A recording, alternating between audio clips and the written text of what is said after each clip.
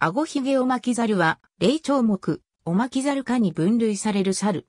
ブラジルセルジッペ州、ミナスジェライス州。体長35から48センチメートル。お長37.5から49.5センチメートル。体重2.5から3.5キログラム。頭頂部の体毛は棒状にならないものの、両脇の筋肉が盛り上がり竜が2つあるように見える。背面は高褐色、獅子や尾の先端は黒っぽい。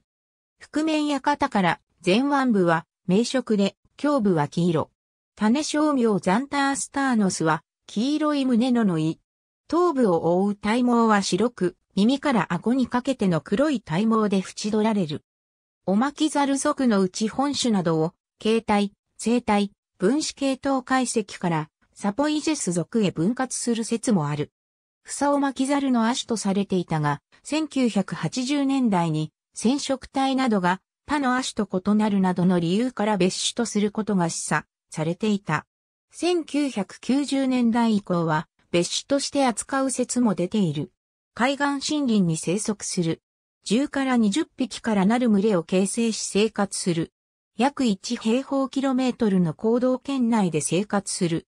乾燥林に生息するいくつかの個体群では、石の上にナッツを乗せ、別の石でそれを荒れるという道具使用を行う。約3000年前から石を道具として使っているとされていて、猿の石器時代と言われている。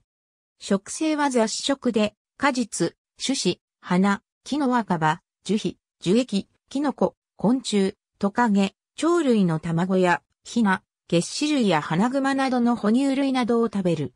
繁殖形態は耐性。各年で1回に1頭の幼獣を産む。